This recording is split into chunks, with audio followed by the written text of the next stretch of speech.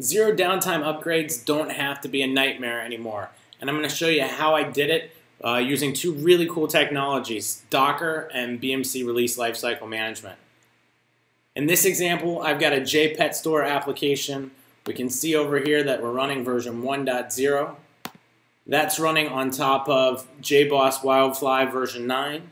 Uh, we can see that it's backed up over here by a MySQL database. Right there, JPet Store. And now I'm going to go into BMC Release Lifecycle Management. I've got a request template that's set up, and this is going to orchestrate the update of my application.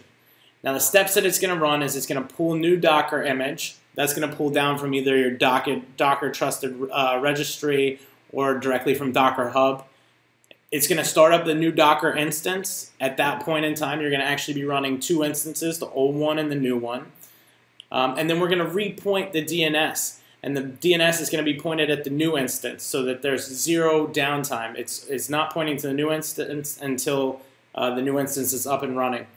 And if that's successful, we're going to stop the previous instance, which sets us up in the future for deploying the next version. So in this case, we're going to deploy version 2, and I'm going to kick off this request. Now the pulled new Docker image could take a couple minutes in your environment depending on whether or not you're, you're close to where that registry is.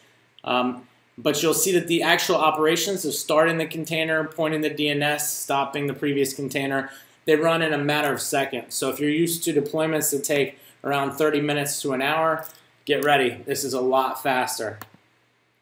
And like that, I update my app and we can see version 2.0.